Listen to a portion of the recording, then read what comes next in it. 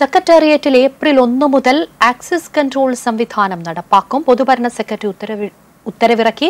പഞ്ചു ചെയ്ത ശേഷവും ജീവനക്കാർ ജോലിസ്ഥലം വിട്ടുപോകുന്നത് തടയാനാണ് നടപടി. വിവരങ്ങളുമായി കെ അരുൺകുമാർ ചേരുകയാണ്. അരുൺ ഈ സംഘടനകളുടെ വലിയ എതിർപ്പ് നിലനിൽക്കുമ്പോഴും ഈ തീരുമാനവുമായി മുന്നോട്ട് പോകാൻ തന്നെയാണോ തീരുമാനം? എന്തൊക്കെയാണ് മറ്റു വിശദാംശങ്ങൾ?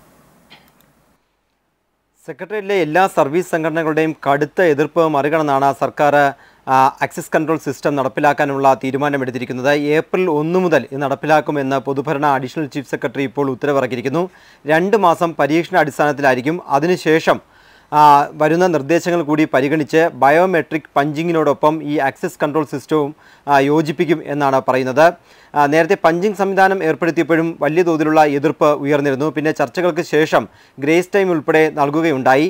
ഇപ്പോൾ പഞ്ച് ചെയ്ത് അകത്തു കയറിയ തന്നെ ഇരിപ്പിടങ്ങളിൽ ഇരിക്കാതെ ജീവനക്കാർ മറ്റ് ഫ്ലോറുകളിലേക്ക് പോവുകയും ആ ജോലി ചെയ്യുന്നില്ല എന്നുള്ള ഒരു നിഗമനം സെക്രട്ടറി തല യോഗത്തിലൊക്കെ ഉണ്ടായി. അതിനുശേഷമാണ് ഫ്ലോർ വിട്ട് പുറത്തു പോകാതിരിക്കാൻ തന്നെ കാരണം ഒരു ഓഫീസ് റൂമിൽ കയറി കഴിഞ്ഞാൽ അവിടം വിട്ട് പുറത്തു പോയാൽ പോയാൽ എത്ര സമയത്തിനുള്ളിൽ തിരിച്ചെത്തും? തുടങ്ങിയ കാര്യങ്ങൾ മനസ്സിലാക്കാൻ വേണ്ടിയാണ് ഓരോ ഫ്ലോറിലും ഇപ്പോൾ ഇത്ര ആക്സസ് കൺട്രോൾ സിസ്റ്റം നടപ്പിലാക്കിയിരിക്കുന്നത്. ഇത് അശാസ്ത്രീയമാണെന്ന വാദമാണ് വിവിധ സർവീസ് സംഘടനകൾ മുന്നോട്ട് വയ്ക്കുന്നത്. മാത്രമല്ല ഡേസ് ടൈമിനെ സംബന്ധിച്ച് ഒന്നും ഇക്കാര്യത്തിൽ ഉറപ്പ് വന്നിട്ടില്ല. മാത്രമല്ല ബയോമെട്രിക് പഞ്ചിങ്ങുമായി ഈ ആക്സസ് കൺട്രോൾ സിസ്റ്റത്തെ യോജിപ്പിക്കാൻ വേണ്ടി പാടില്ല എന്നൊക്കെ സംഘടനകൾ നേരത്തെ മുഖ്യമന്ത്രിക്ക് നിവേദനം നൽകിയിരുന്നു.